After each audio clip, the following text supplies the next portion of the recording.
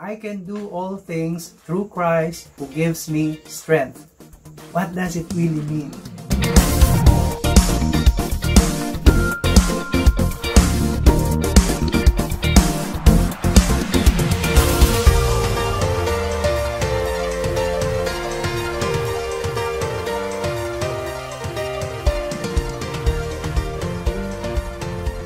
Hello again and welcome dito sa Scripture for Your Soul. And this is Now You Know. Ngayon, ang pag-uusapan natin ay ang Philippians 4.13. Itong verse na ito ay uh, one of the most loved passages ng Scripture. Madalas natin itong makita sa mga cards, uh, printed sa mga t-shirts, even sa arts. Uh, minsan nga makikita natin nakatatupa sa katawan meron akong uh, alam na isang famous boxer na nakatato ito sa kanyang katawan, yung Philippians 4.13. Pero ngayon, di-discover natin ano nga ba talaga ang ibig sabihin ni Paul nung sinabi niyang I can do all things through Christ who gives me strength. Ikaw, paano mo to inia-apply?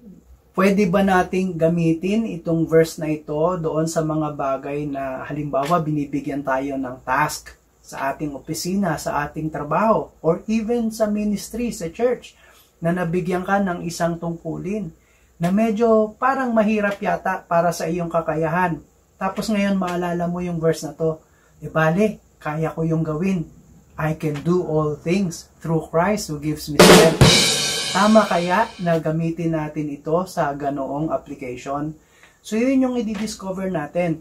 At sana, sa pagka-discover natin ang tunay na kahulugan na ito at makita mo na nagagamit mo pala ito ng mali, huwag ka naman sanang magagalit sa atin. Ang hangarin lang natin ay maitama tayo doon sa mali nating uh, dating pagkakaintindi sa mga passage ng scripture upang sa ganon, sa mga susunod na pagkakataon ay mai apply mo na ito ng tama. So here we go. Let us examine Philippians 4 13. Ano nga ba talaga ang gustong sabihin dito ni Paul? Kagaya ng mga una nating nabanggit, if we really want to know the real meaning of a Bible verse or passage, we need to read it in its proper context. At yun yung gagawin natin ngayon. So before we arrived at uh, verse 13, uunahin muna natin syempreng basahin yung mga uh, naunang mga verses dito. At sisimulan natin ito sa verse 10. Ganito ang ating mababasa. I rejoice greatly in the Lord that at last you renewed your concern for me. Indeed, you were concerned, but you had no opportunity to show it. I am not saying this because I am in need, for I have learned to be content whatever the circumstances. I know what it is to be in need, and I know what it is to have plenty. I have learned the secret of being content in any and every situation, whether well fed or hungry, whether living in plenty or in want. I can do all this through Him who gives me strength. Yun yung context nitong Philippians 4.13. Ano yung makikita natin dito? si Paul, may sinasabi siya ng mga circumstances na na-experience niya. Sabi niya rito, I experience to be in need and I also experience to be in plenty. Sabi niya, naranasan ko rin na uh, well-fed and also being hungry.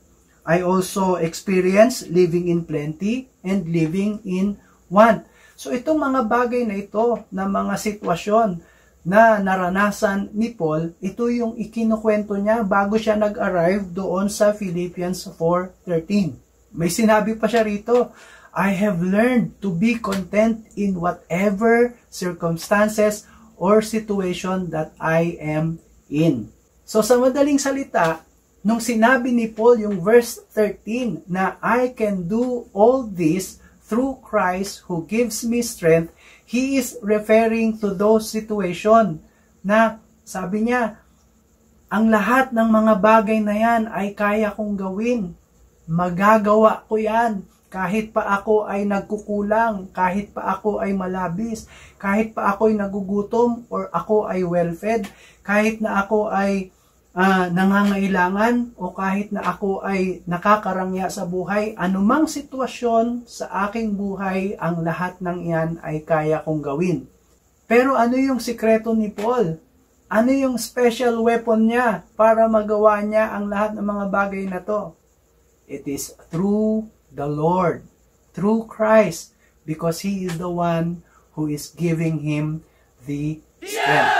Let's take a second look at Philippians 4.13 and I will give emphasis dun sa isang word para makita mo yung mga bagay na sinasabi ko. Sabi ulit doon, I can do all this through Christ who gives me strength. Yung sinabi ni Paul na this, he is referring to those situations na sinabi niya previously. So yon ang tunay na kahulugan ng Philippians 4.13. Ito ay hindi isang blanket endorsement that God will support us in whatever we put our minds into. Or hindi rin ito nangangahulugan that God will empower us to do the impossible things. But rather, It is an assurance that we can do whatever God has called us to do, not whatever we decide to do. So that's the real meaning of Philippians 4.13. And now, you know. Sana nakatulong sa iyo itong uh, maiksing discussion natin tungkol sa Philippians 4.13. At kung may kilala ka na kapatid or sino man na medyo hindi rin tama yung pagkakaunawa niya dito sa Philippians 4.13. I-share mo ito sa kanya para mabuksan din yung kanyang kaisipan at matutunan niya yung tamang principle na nakapaloob dito. So hanggang sa muli, God bless you kapatid at peace